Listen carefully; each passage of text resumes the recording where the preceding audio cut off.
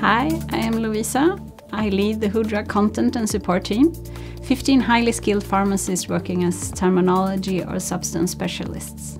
My colleagues have diverse expertise, and we have at least 10 languages on the team. We are all focused on delivering high quality standardized data. Hi, my name's Tommy.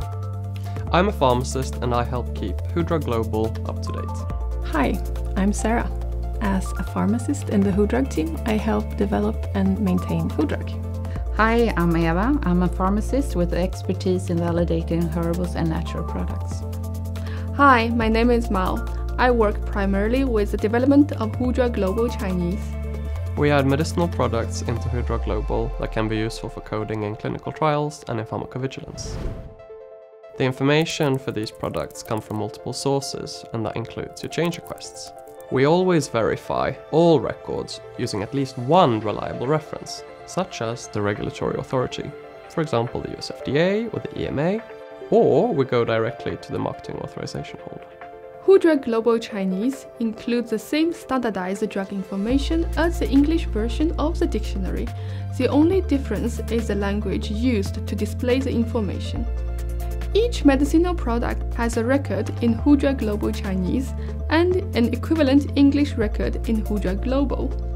Both records stay connected by a single drug code. When adding active substances, we prefer to give them non-proprietary names. We investigate and make sure all common names, systematic names, and investigational codes are connected to the right non-proprietary name. For each product and active substance, we need to find the most suitable ATC code to reflect the indication. For this, we need to consider several factors, such as the official ATC codes and the intended use of the product. In WHODrug Global, it includes herbal products such as natural products and traditional medicines, for example, TCM and Kampo products. When plant, fungi, bacteria or algae are used in herbal products, we use a scientific botanical name according to the ISO IDMP standard. We collaborate with Kew Gardens in the UK in order to achieve the standardized naming on plants. We also specify the part of the plant.